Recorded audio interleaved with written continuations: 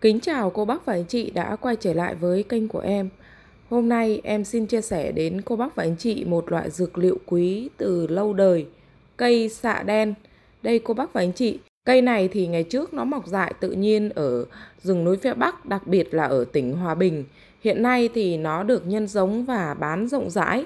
Cô bác và anh chị mình có thể mua về trồng và sử dụng thường xuyên được. Đây cô bác và anh chị, cái lá non của nó ra thì nó sẽ có cái màu tía đỏ rất là đẹp. Khi lá già thì nó bắt đầu chuyển sang màu xanh. Và sau đây em xin chia sẻ đến cô bác và anh chị một số các cái công dụng của cây xạ đen. Công dụng đầu tiên mà nhiều người biết đến cái loại dược liệu quý này đó là nó có thể hỗ trợ điều trị ung thư. Trong cây xạ đen nó có chứa hợp chất kháng ung thư flavonoid, một cái hợp chất có tác dụng chống oxy hóa, phòng ngừa chống ung thư rất là hiệu quả. Flavonoid là những cái chất chống oxy hóa, làm chậm quá trình oxy hóa của các cái gốc tự do, tác nhân gây nên ung thư, lão hóa, hủy hoại tế bào. Flavonoid có tác dụng bảo vệ cơ thể, làm chậm sự phát triển của tế bào ung thư, các cái khối u ác tính. dạ đen là loại dược liệu được dùng trong cả Đông và Tây y, giúp hỗ trợ điều trị các cái căn bệnh liên quan đến ung thư vòm họng, ung thư gan, ung thư phổi, ung thư cổ tử cung, u nang buồng trứng, u sơ tử cung. Đã có rất là nhiều các nghiên cứu khoa học chứng minh cái tác dụng và phòng ngừa hỗ trợ ung thư của cây xạ đen. Tác dụng thứ hai của cây xạ đen đó là nó hỗ trợ điều trị bệnh sơ gan, viêm gan. Trong một số các cái nghiên cứu khoa học đã chứng minh cái cây xạ đen có khả năng hỗ trợ điều trị các cái bệnh về gan, sơ gan, giúp giải độc mắt gan, hạ men gan, gan nhiễm mỡ, hỗ trợ điều trị sơ gan, viêm gan B rất là hiệu quả. Tác dụng thứ ba đó là cây xạ đen nó có thể giúp điều trị cái chứng mất ngủ, rất là tốt cho cô bác và anh chị lớn tuổi.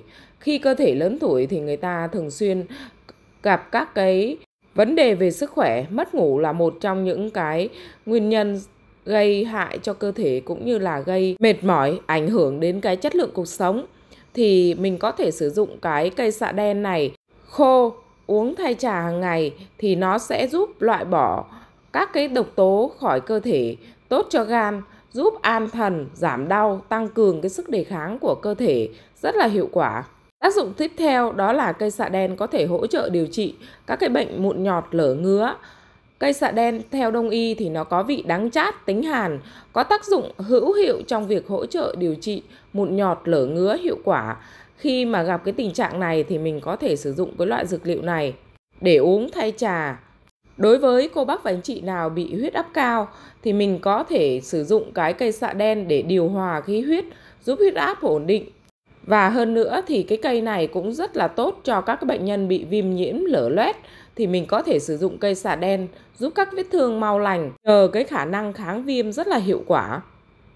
Và cây xạ đen cũng là một loại dược liệu có thể hỗ trợ điều trị cho cô bác và anh chị bị tiểu đường.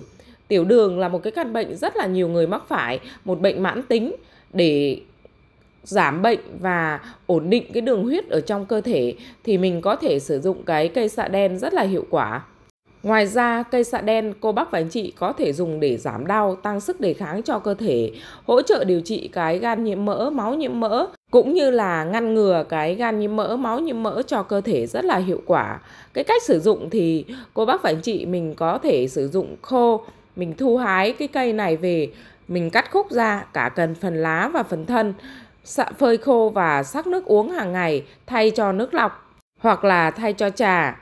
Với cái phần thân thì mình sẽ dùng khoảng 80g một ngày rửa sạch và mình cho khoảng 2,5 lít nước đun sôi từ 25 đến 30 phút và mình lấy cái nước mình uống hàng ngày với phần lá thì mình sẽ dùng ít hơn, dùng khoảng 50g.